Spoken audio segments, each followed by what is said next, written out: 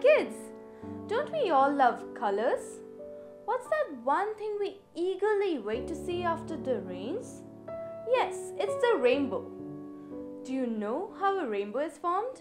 Well, for those who want to know how a rainbow is formed, you can carry out a simple experiment at home.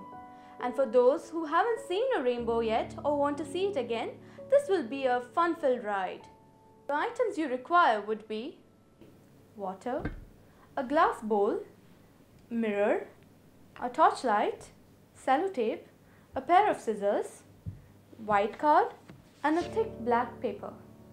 To begin with, firstly we need to cover this torch with the black paper. So we are going to cut out a round shape which will be a cover for the torchlight.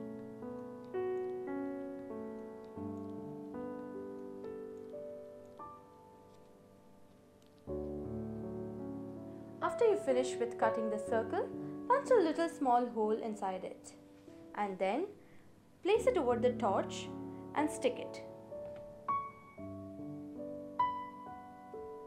Stick the black circle on the torch face with tape like this. Your next step would be to pour water in the glass bowl.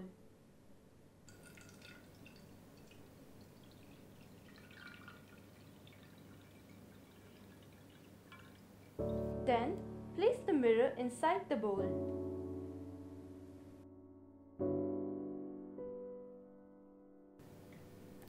And half submerge the mirror in the water like this. So stick it to the corner of the bowl. To see the rainbow, you will have to switch off the lights. Direct the torch towards the submerged mirror and place the white card opposite it. So now you can see a rainbow being formed on the white card. And now you can see all the seven colors of the rainbow from violet to green.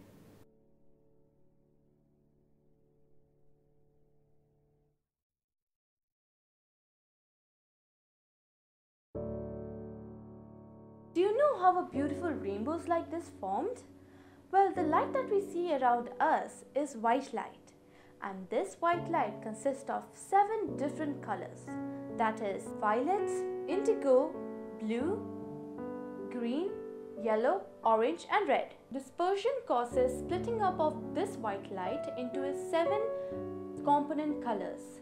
And this is what we exactly did right now. The light rays got dispersed because of water, the same way sunlight gets dispersed because of raindrops. And we reflected this dispersed light by the mirror on a card. So the world is much more colorful than what we just see. So enjoy the colors. Bye bye.